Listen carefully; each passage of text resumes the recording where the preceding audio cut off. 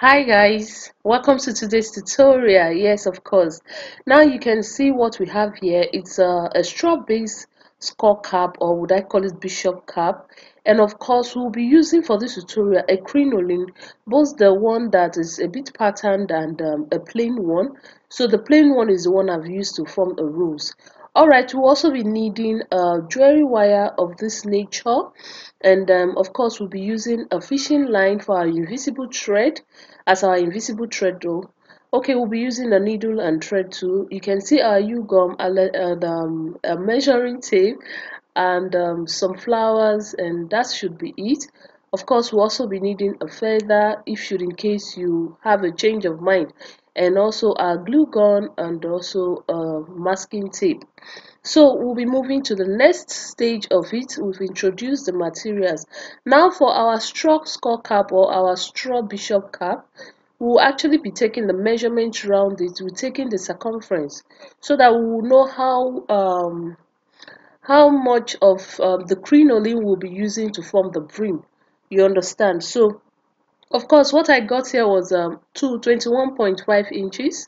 So i'll actually be timesing this 21.5 inches times 3 considering the fact that um, we'll be gathering the crinoline. You of you understand? So but if you want it to be a bit fuller than what you have seen in the picture of course you may decide to just times it by 4 so it will be giving you around 8 something but for um, this one I'll be measuring around um, 63 or 65.5 roughly. So that is what it is. And um, I've actually cut it out already. And I'm using the threaded part of the crinoline to pull and off, off also give it um, some gathers. You understand? So that's what it okay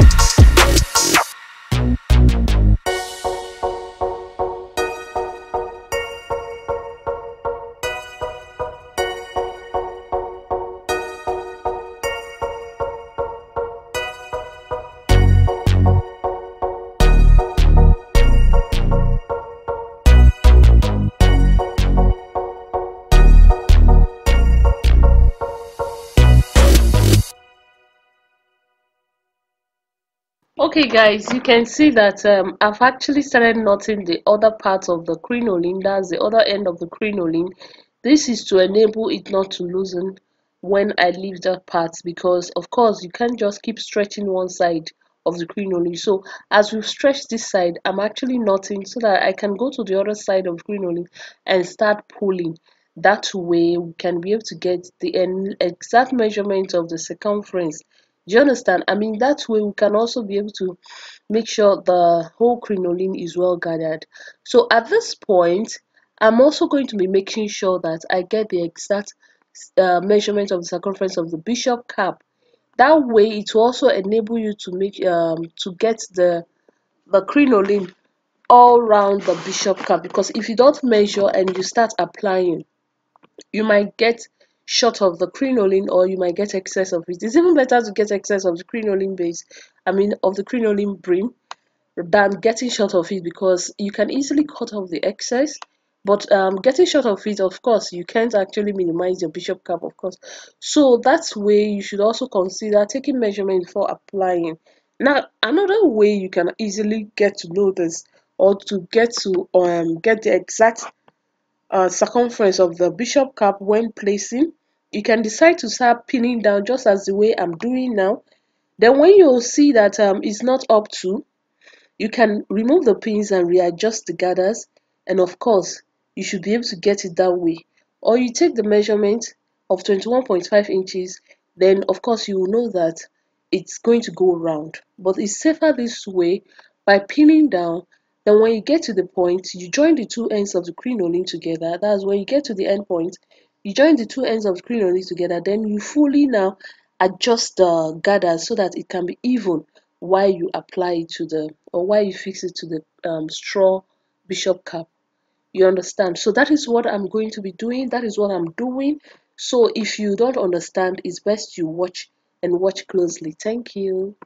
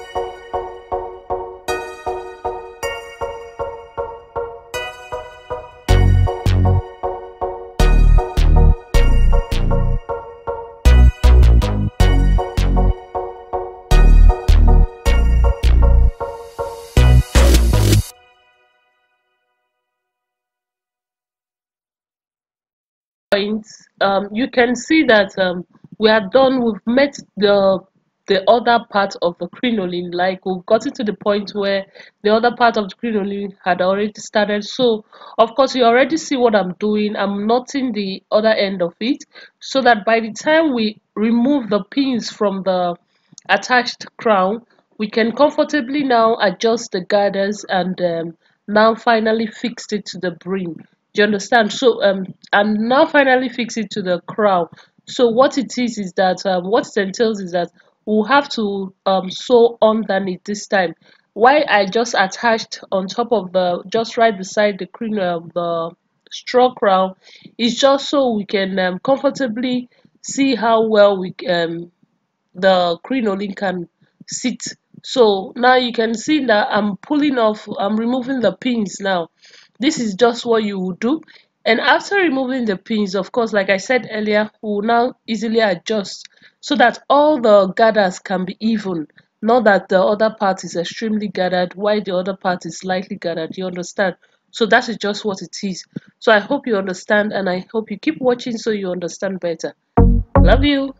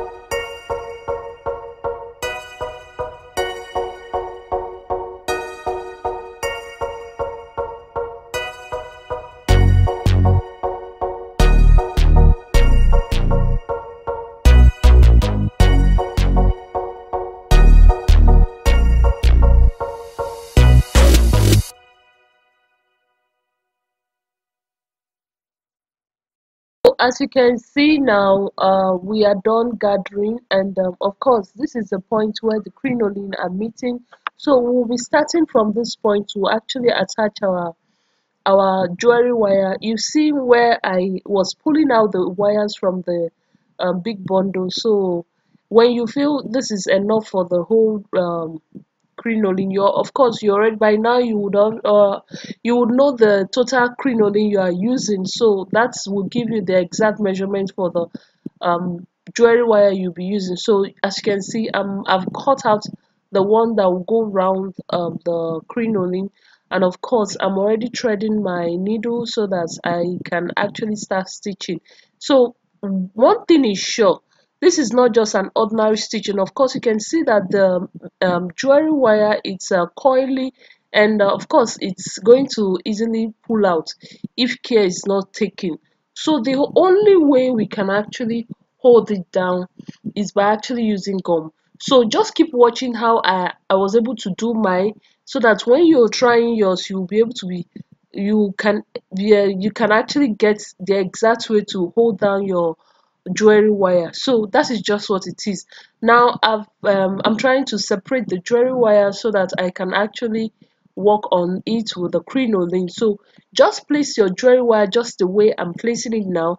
Then um, overlap it with the crinoline. But before you overlap it with crinoline get your hot glue gun um, gum and then place just little.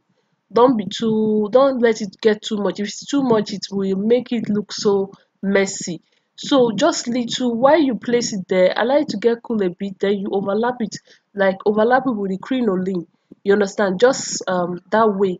Then that's how you keep doing it. Then at this point get your needle and thread or your fishing line and thread and um, give it a simple stitch. That way the uh, jewelry wire will stay intact you understand? So and it won't go anywhere of course. So that is what it is and um um you can just see how i'm actually knotting the whole thing. I'm giving it an overlap stitch an overlap stitch. I don't know if this is overlap. Yeah it should be overlap stitch. So afterwards when you get to the point that you've glued down get another gum glue it again then you continue that way. So i'll be sharing with you the finished look. Of course i'll just want you to watch how i did this and um, afterwards I'll be showing you the finished look and you see how beautiful and messy it is. But all the same it still gave us a beautiful work. So don't get so bothered if it's looking so messy and uh, you don't feel very comfortable with it. Of course you'll be covering it with a piece of shape or any other bias you have at your disposal. So that should be something you should keep in mind. And also while you are adding your glue gun do not allow it to exceed the the hems of the crinoline so that it doesn't um, give a further stain to your brim so that should also be something you should consider while you're doing that. Of course you can see that um this is time consuming. So if you're ready for this hat you have to have enough time at your disposal. If not you might um you might get frustrated along the line. But with the help of this video with the help of this tutorial you should be able to do justice to this hat all right so that's what it is just keep watching we still have more for you to learn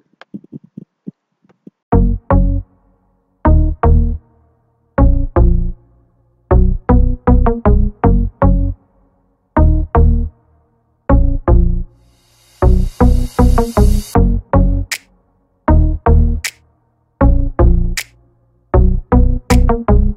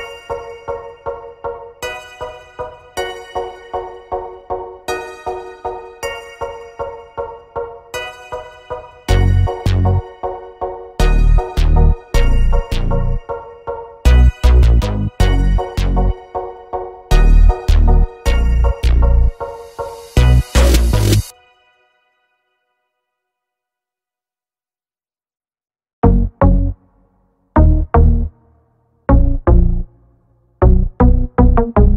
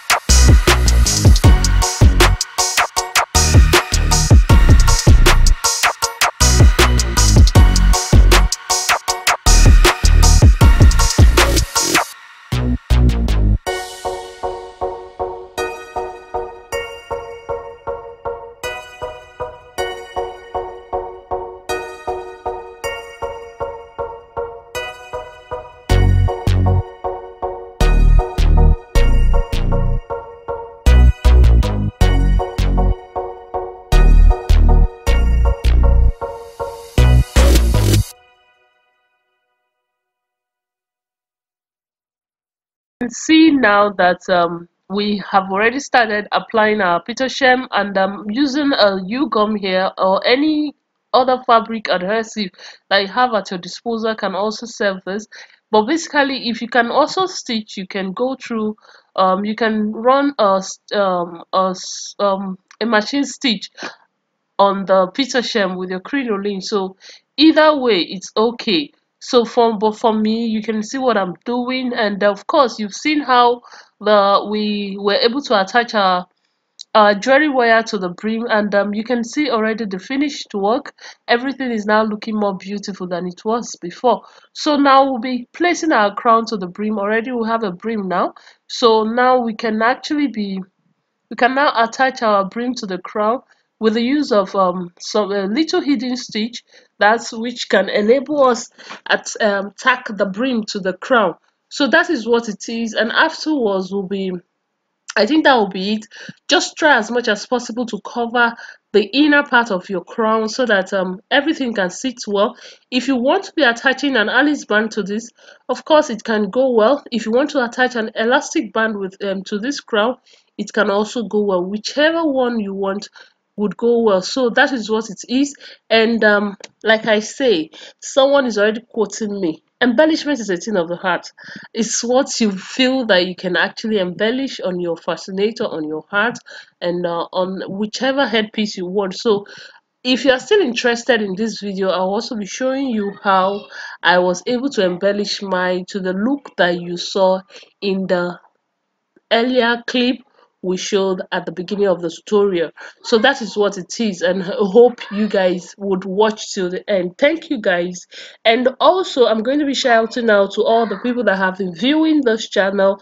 God bless you. Thank you so so much. And um, of course this is 2019 and we're about to round it up. And i appreciate all your efforts so far.